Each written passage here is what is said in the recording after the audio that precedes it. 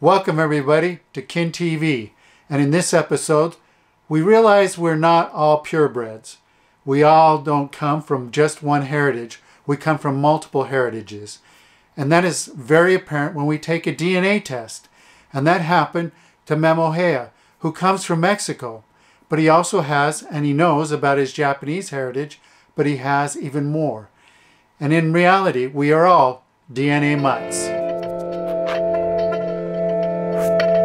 What I know about my grandpa Seibei Okamura is very little. I know that he was born and raised in Japan. My name is Aiko Okamura and I'm third generation Japanese. After he graduated from college, decided to move to the United States to start a new life and to become a doctor out here. As many immigrants, he went through different things that led him to different paths. I say that I'm Japanese with a, a more confidence now. My name is Daniel Seibei and I'm fourth generation Japanese. And then he came to Mexico and he married a Mexican lady. They have 11 children. My dad is the youngest and I'm the youngest of my dad. Previously I knew that he was from Japan, so mainly I thought I was just Hispanic and Japanese. He was well known as a very good doctor. He served a lot of people that didn't have money and he always was helping people. It gives me that sense of uniqueness to go by Seibei and be as great as whatever it is I'm doing as he was.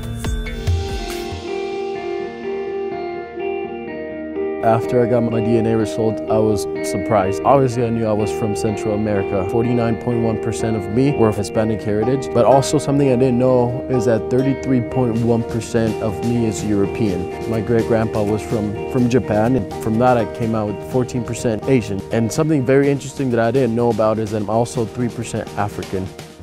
We find out more about ourselves, and not just about ourselves, but also about other people. 1% Pacific Islander, from the islands of Melanesia. So knowing that I'm a little bit of everything, of every continent, it just made me happy when I found that out. My name is Memo Gea, and now I know that I'm a citizen of the world.